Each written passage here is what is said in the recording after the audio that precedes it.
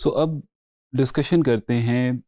national income for closed economy and open economy अब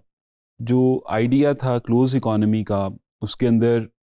ये चीज़ बड़ी प्रीडोमिनेंट रहती है हमेशा से कि फॉरेन सेक्टर यहाँ पे शामिल नहीं होता। जो ट्रेड है या जो आपके किसी एक नेशन के या कंट्री के, अपनी कंट्री के अलावा जितनी भी ट्रांजेक्शन्स हैं other it is in the form of exports और इम्पोर्ट्स वो हम शामिल नहीं करते। तो यहाँ पे हम ये ज्यूम करते हैं क्लोज इकोनॉमी में ख़ास तौर पे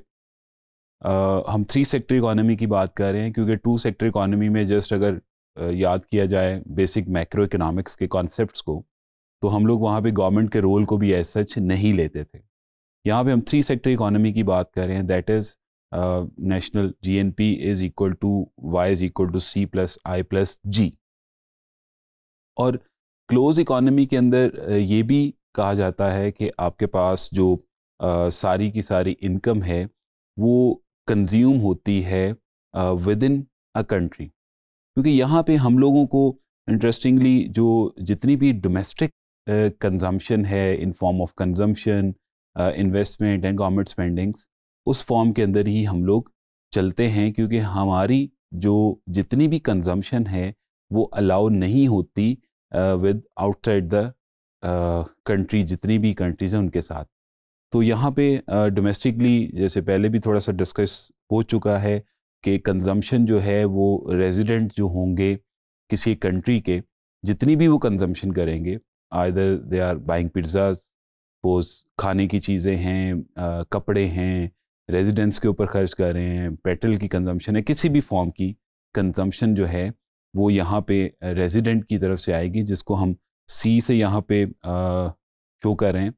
देन इन्वेस्टमेंट आपके पास डोमेस्टिक रेजिडेंट जो हैं वो आ, किसी भी चीज़ की प्रोडक्शन के लिए मज़ीद प्रोडक्शन के लिए जो पैसा खर्च करते हैं जिसके अंदर कैपिटल इक्विपमेंट ख़ास तौर पे जो होता है जो पैदावार के लिए चीज़ें यूज़ की जाती हैं, वो आपके पास इन्वेस्टमेंट होंगी। यहाँ पे एक चीज़ और थोड़ा सा याद में रखने की ज़रूरत है कि जब प्रोडक्शन की जा रही होती है तो इन्वेंट्री भी एक टाइप है इन्वेस्टमेंट की। जैसे सपोज़ मैं एक प्रोडक्शन हाउस है मेरे पास सपोज़ कोई भी मैं कोई कमोडिटीज़ प्रोड्यूस कर रहा हूँ सपोज़ क्लोथ जीन्स वगैरह बना रहा हूँ तो इन दैट केस मैंने सपोज़ थाउज़ेंड यूनिट्स बनाए जीन्स के। और मैंने जो है वो मार्केट में अकॉर्डिंग टू द सिचुएशन जो मार्केट में डिमांड थी मेरी जीन्स की, उस हिसाब से मैंने 700 सप्लाई कर दी मार्केट के अंदर और जो बाकी 300 हैं मैंने उनको एज ए इन्वेंट्री अपने पास रख लिया। तो जो इन्वेंट्री मैंने अपने पास रखी है वो भी इन्वेस्टमेंट में ही आएगी। देन जो नेशनल इनकम है उसकी कंजम्पशन थर्ड लेवल पे आपके पास गवर्नमेंट की तरफ़ से कंजम्पशन हो सकती है। जहाँ पे गवर्नमेंट अपने डिफरेंट प्रोजेक्ट्स के ऊपर, जो भी गुड्स एंड सर्विसेज़ की परचेज़ के ऊपर पैसे खर्च करेगी, वो सारे के सारे यहाँ पे जी के अंदर या मुल्क की नेशनल इनकम का तीसरा बड़ा हिस्सा जो कंज्यूम होता है, वो गवर्नमेंट परचेज़ के ऊपर जाता है। और यहाँ पे वंस अगेन वो चीज़ कोई भी ऐसी हम यहाँ पे जी में शामिल या गवर्नमेंट परचेज़ में शामिल नहीं करेंगे, या वो भी गवर्नमेंट का ख़र्चा, जो जिसके रिवॉर्ड में गवर्नमेंट को कोई सपोज़ आपके पास गुड्स या सर्विसेज़ नहीं मिल रही। इसी तरीके से इन्वेस्टमेंट पॉइंट ऑफ़ व्यू से भी जो आपके मैंने बात की प्राइवेट इन्वेस्टर्स होते हैं या मुल्क के लोग जो फ्यूचर कैपिटल की जनरेशन के लिए पैसे खर्च करते हैं उनको इन, आप इन्वेस्टमेंट लेते हैं। लेकिन अगर फ़र्ज़ किया कोई इंडिविजुअल है वो सपोज़ मैं एक इंडिविजुअल हूँ मैंने शेयर्स खरीद लिए किसी कंपनी के। या आ, किसी आ, कोई भी ऐसी कंपनी है डोमेस्टिक है सपोज़ हम ज्यूम करते हैं डोमेस्टिक कंपनी है उसके शेयर्स या डिबेंचर्स खरीद लिए मैंने। अब वो जीएनपी के अंदर या इनकम की कंजम्पशन के अंदर वो सेगमेंट नहीं बनेगा। क्यों? क्योंकि उसके बदले में कोई ऐसा ना तो गुड्स मिली हैं ना सर्विसेज़ मिली हैं। तो इस कैलकुलेशन में एक चीज़ बड़ी इंपॉर्टेंट याद रखनी है आपने कि यहाँ पे इन्वॉलमेंट होनी चाहिए और होगी गुड्स एंड सर्विसेज़ की। अब, अगर सपोज़ जो सेकंड हाफ़ है, या सेकंड जो सपोज़ इस मेड्यूल का हिस्सा है दैट इज़ ओपन इकोनॉमी अब ओपन इकोनॉमी को हम डिफाइन इस तरह करते हैं कि जब आपके पास फॉरेन सेक्टर शामिल हो जाता है तो यहाँ पे एक इक्वेशन लिखी हुई है, y is equal to C plus I plus G plus E X stand for exports and I M stand for imports तो अब यहाँ पे सिर्फ़ ये हुआ है कि आपके पास जितनी भी नेशनल इनकम प्रोड्यूस हुई है मुल्क के अंदर, उसकी जो कंजम्पशन है, वो सिर्फ़ डोमेस्टिक गुड्स एंड सर्विसेज़ के ऊपर नहीं है। अब हमने चीज़ें इम्पोर्ट और एक्सपोर्ट भी की हैं। जब इम्पोर्ट कर रहे हैं सपोज़ तो हम अपनी जो नेशनल इनकम मुल्क के अंदर जो प्रोड्यूस की है हमने चीज़ें सॉरी इनकम जो प्रोड्यूस की है उसकी जो स्पेंडिंग है, वो हम फॉरेन प्रोडक्ट्स के ऊपर भी कर रहे हैं, जो कि बाहर के ममालिक में प्रोड्यूस हुई हैं। तो इन दैट केस आपके पास यहाँ पे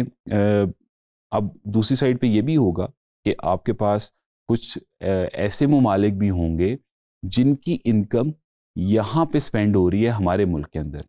या जो बाहर रहते हैं लोग, लेकिन वो हमारी कॉमोडिटीज़ को परचेज करते हैं। इन दैट केस हमारी जो है वो जीएनपी में इजाफा होगा। अगर यहाँ पे इस इक्वेशन को क्लोजली देखा जाए तो अगर आप देखें तो यहाँ पे ई एक्स पॉजिटिव साइन के साथ है इम्पोर्ट्स बेसिकली नेगेटिव साइन के साथ है। तो जितना आउटफ्लो हो रहा है, बाहर जा रहा है, उसको आप नेगेटिव के साथ देख सकते हैं, क्योंकि हमने के लिए यहाँ पे एक वर्ड रखा है नेट एक्सपोर्ट्स के नाम से। तो यहाँ पे भी वर्ड नेट आता है that means difference between two variables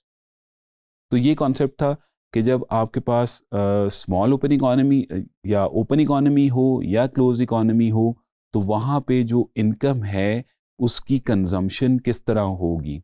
वो अगर क्लोज इकोनॉमी है तो जितनी भी परचेजेस हैं, वो मुल्क के अंदर ही रहेंगी।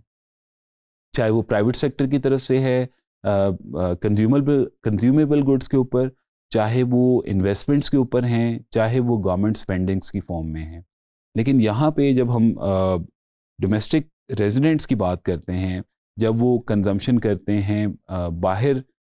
जो ममालिक हैं, उनकी कमोडिटीज़ के ऊपर सपोज़ यहाँ पे लोग, मैं बैठा हूँ यहाँ पे, पाकिस्तान के अंदर, और मैं यहाँ पे इनकम कमाता हूँ। लेकिन हो सकता है कि I need Italian tiles for my home मुझे घर के इस्तेमाल के लिए इटालियन स्टाइल चाहिए। सपोज़ मुझे जापान से जो है वो एलसीडी मंगवानी है जो मैंने घर में यूज़ करनी है तो उस केस के अंदर क्या हुआ? मैंने इनकम तो यहाँ पे कमाई,